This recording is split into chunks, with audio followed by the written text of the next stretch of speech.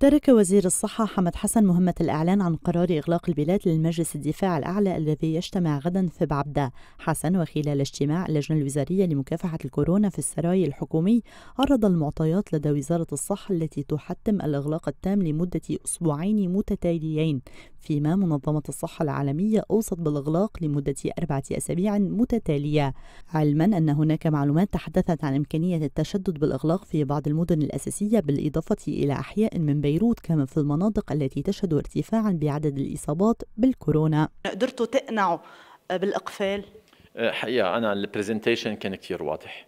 اقتنعوا بال présentation هن هن مقتنعين. يعني هي التفاصيل كلها اللي أحط فيها من عدد الأسرة من عدد الإصابات من عدد الوفيات أه، من قلة التزام الناس. تبين بالمعطيات إنه العدد قليل من البلدات اللي خف فيها عدد الحالات.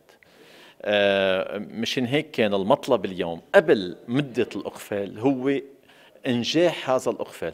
نحن نوصي نوصي يعني أوقات بيكون كلامنا ما بدي يستفز حدا بس أنا عم بقول إنه المنطق بيقول الإقفال إذا عطى نتيجة إن شاء الله كمان بيكون في عودة تدريجية إلى الحياة الشبه طبيعية وليس فتح بالمجمل لأنه هي آخر فرصة بتنعطانا.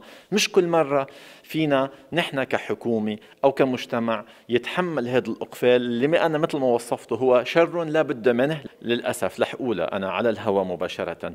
معطيات وزارة الداخلية بآخر فترة بآخر ثلاث أسابيع عدد سكان لبنان صار 10 مليون شو يعني؟ صارت البلديات تعطي بعض البلديات تعطي أرقام مقيمين أضعاف اللي مقيمين عندها لحتى ما يصير في إقفال بالنسبة للقدرة الاستيعابية للمستشفيات لا سيما بعد الضغط التي تتعرض له بيروت وكسروان والمتن كشف وزير الصحة أنه تواصل مع مصرف لبنان لتحرير جزء من حسابات المستشفيات الخاصة بالدولار لإنشاء أقسام خاصة بالكورونا.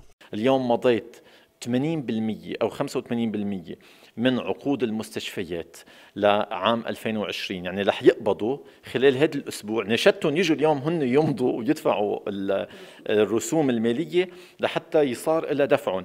آه، رح يقبضوا ست أشهر 2020 وهن قبضوا كل 2019 حكينا مع حاكميه مصرف لبنان.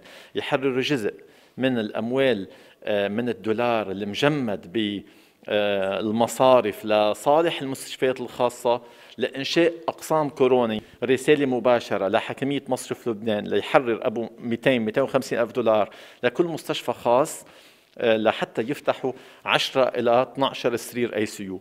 إذا قدرنا حققنا هذا الهدف بنكون مع رفع نحن رح نرفع 100 سرير تقريبا المستشفيات الحكومية من أسبوعين لأربع أسابيع حنكون عندنا 100 سرير إضافي. أما بالنسبة لزيادة القدرة الاستيعابية في المناطق فأعلن حسن عن هبة قطرية. رح أتشكر مباشرة آه، دولة قطر الشقيقة. آه، قبل ما فوت على الاجتماع آه، بلغني سعادة السفير القطري ببيروت سعادة السفير محمد الجاسم أنه توافق على طلب قدمته تقريبا من شهر ونص.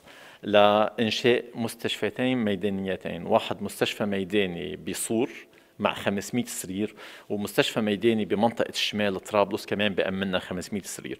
ونحكى بالاجتماع مع معالي وزيرة الدفاع إلى تحويل المستشفى الميداني بمستشفى الروم أبان الانفجار اللي تقدم والمستشفى بالجعيتاوي بمستشفى الجعيتاوي آه، كمان هو تقدموا من دولة قطر مشكورة بمساعدة الجيش والتجهيزات اللي توفرت للجيش بعد الانفجار أنه قد يكون هذا في حل بالإضافة للي شفناه مثل مبادرة الوزير آه، أبو صعب بال المستشفى اللبناني الكندي.